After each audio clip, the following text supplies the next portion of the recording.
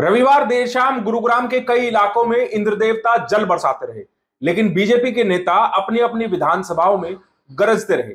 आपको इस खबर में दिखाएँगे कि गुड़गांव विधानसभा में बीजेपी नेताओं ने भारी बरसात के बीच भी लोगों के बीच कैसे दिया भाषण और लोगों ने कैसे ब्याज समेत उनको लौटाया है अपना प्यार। नमस्कार, मैं हूँ सुनील यादव और आप देख रहे हैं गुरुग्राम न्यूज़। रविवार शाम गुरुग्राम में बरसात हुई इंद्र देवता जमकर बरसे लेकिन इस दौरान गुरुग्राम की जनता अपने चहेते नेताओं पर प्यार बरसाते रहे। ये प्यार बरसाया है गुड़गांव विधानसभा से बीजेपी के नेता जीएल शर्मा पर। जीएल शर्मा ने रविवार शाम गुरुग्राम के गांधीनगर इलाके में एक जनसभा को संबोधित किया। विधानसभा चुनाव नज़दीक है, इसीलिए अभी से बीजेपी के नेता बीजेपी की टिकट पाने के लिए जनसंपर्क अभियान चला रहे हैं। इसी कड़ी में बीजेपी के प्रदेश उपाध्यक्ष जीएल शर्मा गुरुग्राम के गांधीनगर में पहुँचे। लेकिन जब वो कार्यक्रम में पहुँचे तो वहाँ अचानक बरसात शुरू हो गई। इंद्रदेव ने जल बरसाना शुरू कर दिया, लेकिन भारी बरसात के बीच भी ना तो वहाँ से नेताजी डिगे और ना ही उनकी जनता जो उनसे प्यार करती है, वो टस से मस हुए। इंद्र देवता जल बरसाते रहे और जीएल शर्मा स्टेज से गरजते रहे। वो बताते रहे कि कैसे वो जनता के काम आने वाले समय में कराते रहेंगे। वो जनता को जताते रहे कि उन्होंने आज तक कैसे जनता का भला किया है और कैसे जनता उस भला का अब जो रिवर्ट कर रही है, वो ब्याज समेत उन्हें प्यार देकर लौटा रही है। जीएल शर्मा ने कहा है कि उन्होंने बिना किसी पद के ही गुरुग्राम की जनता का भला किया है। छत्तीस बिरादरी के लोग उन्हें प्यार करते हैं, उनकी लाखों बहनें हैं, लाखों भाई हैं, लाखों बड़े बुज़ुर्ग हैं और यही प्यार उनको आगे आने वाले विधानसभा चुनाव में न केवल बीजेपी से टिकट दिलाएगा, बल्कि गुड़गांव विधानसभा से एक लाख से ज़्यादा वोटों से वो जीत कर आएँगे और फिर पूरे पुरजोर तरीके से वो गुड़गांव विधानसभा के निवासियों के विकास कार्य कराएँगे। पीछे भाई। बहुत अच्छा लगा। हज़ारों की संख्या में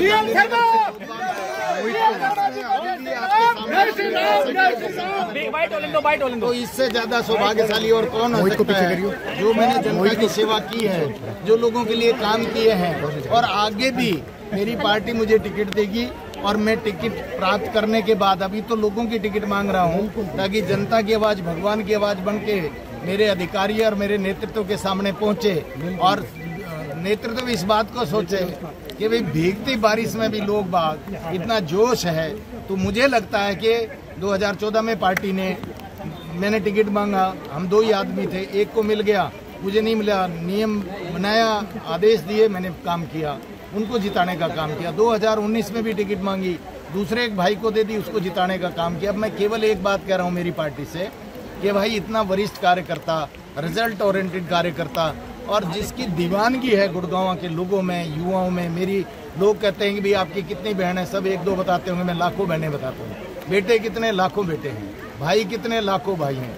और मेरे पिता तुल्य बुज़ुर्ग, वो भी लाखों की संख्या में मेरे विषय में सोच रहा है, गंभीरता से सोच रहा है मुझे पूर्ण विश्वास है कि पार्टी टिकट देगी और मैं यहाँ से अपने भाई, बंधु, बहन और अपने बुज़ुर्गों और युवाओं के स्नेह और प्यार आशीर्वाद से विधानसभा पहुंचूँगा।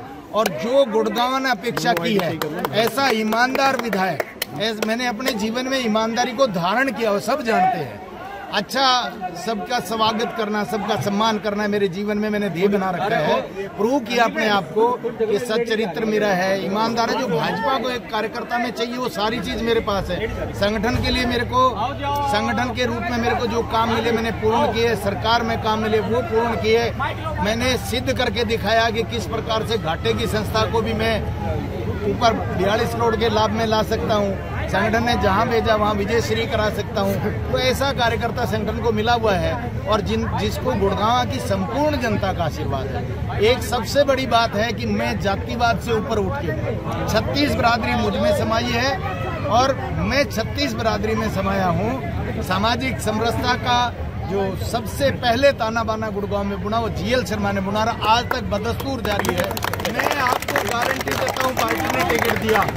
तो मैं कम से कम एक लाख से ऊपर वोटों से जिता के भाजपा को सीट दे दूँगा और केवल और केवल मात्र इस दम पे दूँगा कि आपने देखा होगा, दंगल छोड़ के लोग भाग जाते हैं बारिश में, लेकिन आपने देखा होगा कि सबके पोस्टपोन अपने कार्यक्रम अभी जारी है और अभी तो एक कार्यक्रम है श्रवणकार वंश का, जो पंजाबी समाज का है, वो मैं अभी जाऊँगा उसमें। बेशक बारिश होगी, पर मैं वहाँ ज़रूर पहुंचूँगा। अब आप इधर पीछे देख सकते हैं कि हज़ारों की संख्या में आप अभी भी आप पीछे मुड़ के देखेंगे तो आप पाएँगे कि इससे ज़्यादा प्रेम और क्या हो सकता है। मॉनसून में गुरुग्राम में इंद्रदेव तो खूब बरस रहे हैं, खूब प्रसन्न है। बीजेपी के नेता भी इस बरसात में गरज रहे हैं, लेकिन इनकी असल प्यास तब बुझेगी जब बीजेपी भी इंद्रदेव की तरह इन नेताओं पर बरसेगी। इस खबर के बारे में आप हमें अपनी राय कमेंट करके ज़रूर दीजिएगा। साथ ही साथ आप इस खबर को ज़रूर शेयर कीजिएगा ताकि सभी लोगों तक सही जानकारी सही समय पर पहुँच पाए। नमस्कार।